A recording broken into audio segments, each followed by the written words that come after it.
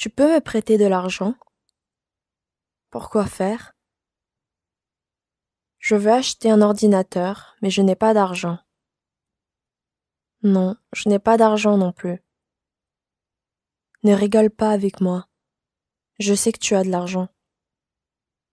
C'est vrai, j'ai de l'argent, mais je n'ai pas d'argent pour toi.